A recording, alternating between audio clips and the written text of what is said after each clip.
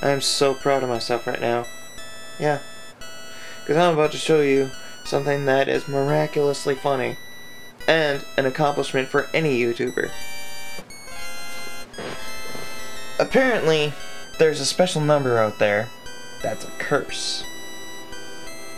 Among, uh, occultists. Uh, Christians!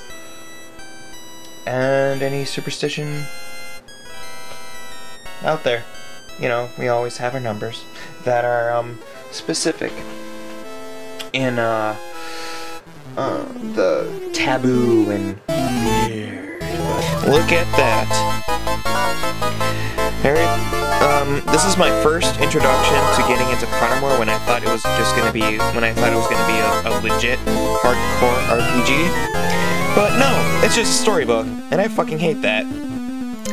But I just find it hilarious that my first triple six viewed video is Harry Potter related.